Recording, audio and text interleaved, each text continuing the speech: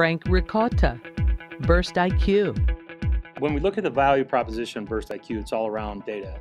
Data about you, how, how you're feeling, and how you're living your life. It's very valuable. Companies are created every day uh, to try to gather more. Uh, researchers are demanding more and more of that type of data. We think some of the more advanced health health advancements are going to come out of data data research.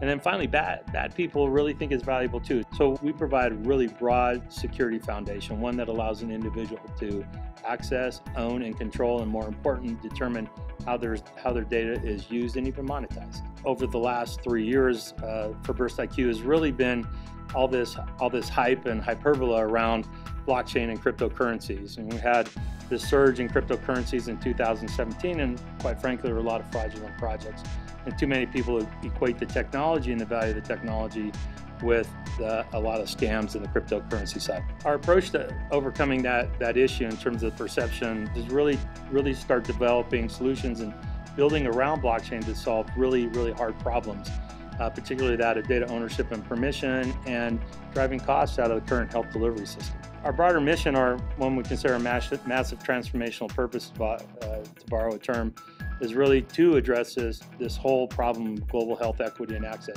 It's a shame that your zip code is a better determinant of health than your genetic code, and we have to solve that problem. We have to really, through a lot of new health services, precision medicine, uh, and virtualize, virtual contacts, we can we can extend health and healthcare uh, to many parts of the world, and individuals just don't have access to it today.